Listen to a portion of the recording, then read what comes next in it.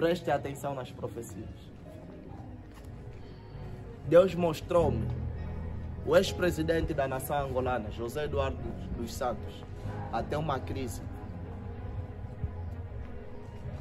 Esse ano, a ter uma crise. Eu estou a falar pelo nome.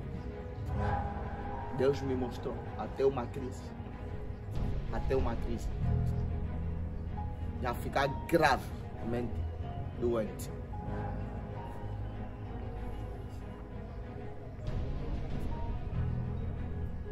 A ficar gravemente doente. A ficar gravemente a ficar gravemente. Eu disse a ficar gravemente. Repito, eu sou apenas um canal pelo qual Deus fala.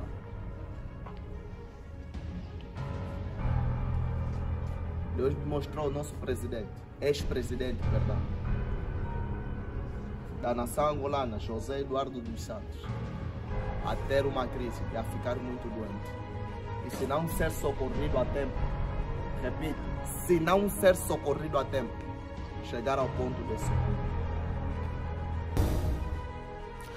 Senhoras e senhores, boa tarde, bem-vindos a este especial Informação. Estamos a este horário a título excepcional para levarmos até si uma informação triste.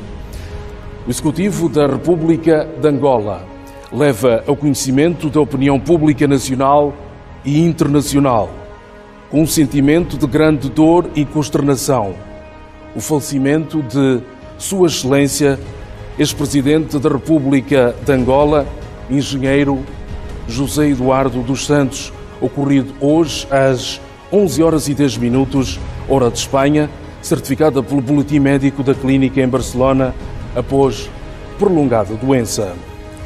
O Executivo da República de Angola inclina-se com maior respeito e consideração perante a figura de um estadista de grande dimensão histórica. E falando aqui de uma figura de um estadista de grande renome e que deixou muito na história de Angola nos anos, nos vários anos que desempenhou o cargo de presidente de Angola.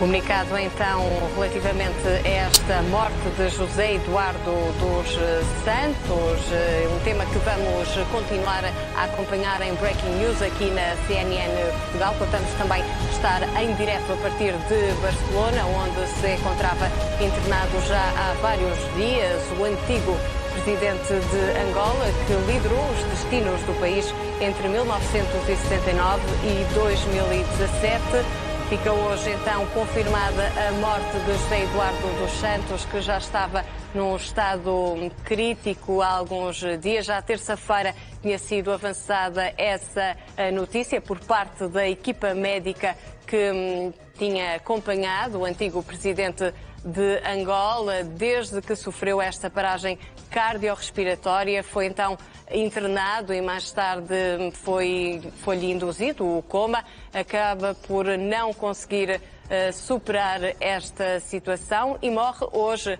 aos 79 anos de idade.